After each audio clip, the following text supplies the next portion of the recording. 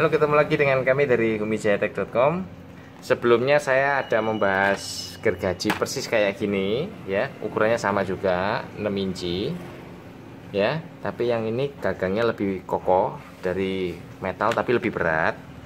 Yang kode sebelumnya itu 81908 Yang ini 81905 ya.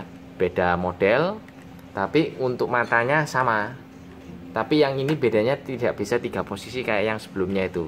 Nanti video linknya sebelumnya akan saya taruh ya di akhir video ada itu. Oh ya dan jangan lupa sebelum lanjut nonton video ini jangan lupa klik subscribe ya dan juga klik loncengnya oke? Dan jangan lupa share juga untuk mendukung channel kami agar bisa upload video-video produk-produk baru terus ya. Yang ini nggak bisa tiga posisi kayak seleri yang 81908 tuh ya.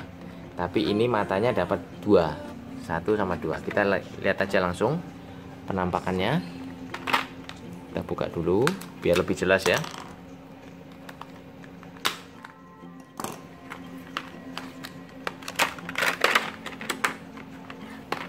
Oke matanya dapat dua.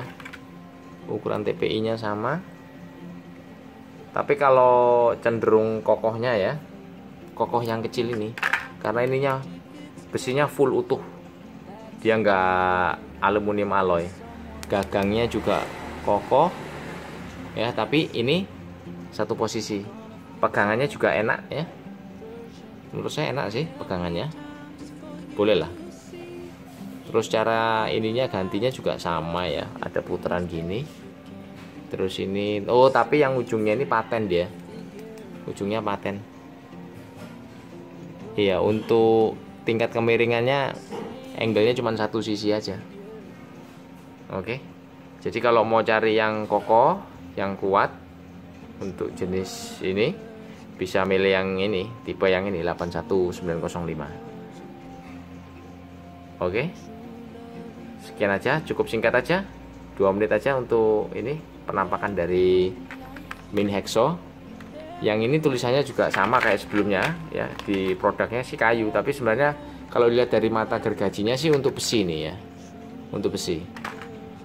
Oke. Ini jaraknya sih kurang lebih ya 5 sentian lah ya. Kalau ininya ya jengkalan saya 20 sentian. Kalau matanya ya 6 inci. Nah untuk ini matanya ini sama kayak sebelumnya pakai yang ini ya kita juga jual. Nah nanti untuk link penjualannya semua gergaji sama matanya ada di komen ya saya taruh di komen. Atau ya tinggalkan komen aja lah nanti. Mau tanya lewat WhatsApp atau apa nanti link Tokopedia bisa saya sertakan. Oke saya rasa cukup sekian aja dulu untuk penampakannya secara singkat ya. Penampakan review dari mini hexo seleri. Oke saya rasa cukup sekian. Terima kasih, salam sukses Humi Jayatek.